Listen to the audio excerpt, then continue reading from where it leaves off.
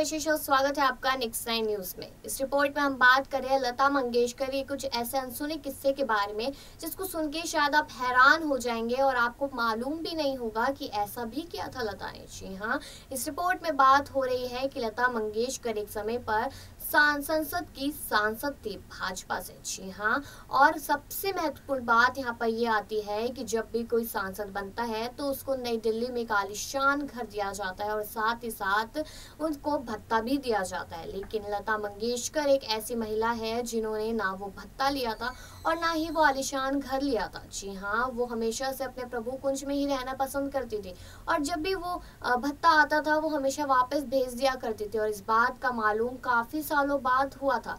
और ऐसे ही सचिन तेंदुलकर ने क्या, ना ही उन्होंने आलिशान घर लिया और ना ही उन्होंने भत्ता लिया था। लेकिन क्यों नहीं लिया? लता मंगेशकर ने सारी चीज़ें, क्या था उनके दिमाग में, ये आप इस रिपोर्ट में जाने। बता दें कि भारत के प्रसिद्ध गायिका लता मंगेशकर का 6 फरवरी को बानवे साल की उम्र में निधन हो गया। कोरोना के चलते उन्हें मुंबई के ब्रिज कैंडी अस्पताल में भर्ती कराया गया था। लगभग एक महीने तक मौत से लड़ने के बाद आखिरकार आज स्वर कोकिला शांत हो गई। सरकार की तरफ़ से भारत रत्न लता मंगेशकर के निधन पर दो दिन का शोक राष्ट्रीय शोक घोषित किया गया है। गायिका के अलावा लता जी ने राज्यसभा के सांसद के तौर पर भी देश की सेवा की थी। इस दौरान उन्होंने एक भी रुपया वेतन भत्ते के रूप में नहीं लिया था। लता मंगेशकर साल 1999 से 2005 तक सदन का हिस्सा रही थी। उन्होंने 22 नवंबर उन्नीस सौ निन्यानवे को राज्यसभा का मनोनीत संसद सदस्य घोषित किया गया था। अपने छः सालों के कार्यकाल में उन्होंने वेतन के भेजे गए चेक्स को कभी स्वीकार नहीं किया और हमेशा वापस भेज दिया। एक सामाजिक कार्यकर्ता द्वारा फ़ाइल किए गए आरटीआई के बाद यह पता चला कि लता मंगेशकर के वेतन से संबंधित मामले में वेतन लेखा कार्यालय से लता को भेजे गए वेतन के सभी चेक वापस आ गए। इसके अलावा लता मंगेशकर ने कभी भी सांसद पेंशन के लिए भी आवेदन नहीं किया था। यहाँ तक कि उन्होंने नई दिल्ली में सांसदों को दिया जाने वाला घर भी स्वीकार नहीं किया। लता मंगेशकर के अलावा अलावा क्रिकेटर सचिन तेंदुलकर ने भी सांसद रहते हुए कभी ना तो वेतन लिया और ना ही उन्होंने नई दिल्ली में सांसदों को दिए जाने वाला घर स्वीकार किया। सचिन ने अपना पूरा सांसद वेतन नब्बे लाख रुपए प्रधानमंत्री राहत कोष में दान कर दिया था।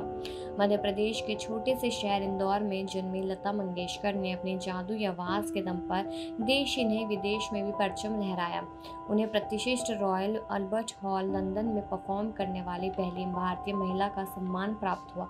2007 में फ्रांस की सरकार ने उन्हें लीजन ऑफ़ ऑनर के अधिकारी से सम्मानित किया, जो देश का सर्वोच्च नागरिक पुरस्कार है। लता मंगेशकर की उपलब्धियों को गिनना नामुमकिन है, लेकिन अब लता मंगेशकर हमारे बीच में नहीं है, वही आपने सुना ही कि लता मंगेशकर हमेशा से ही अपने कमाए हुए पैसों को ही इस्तेमाल करना चाहती थी।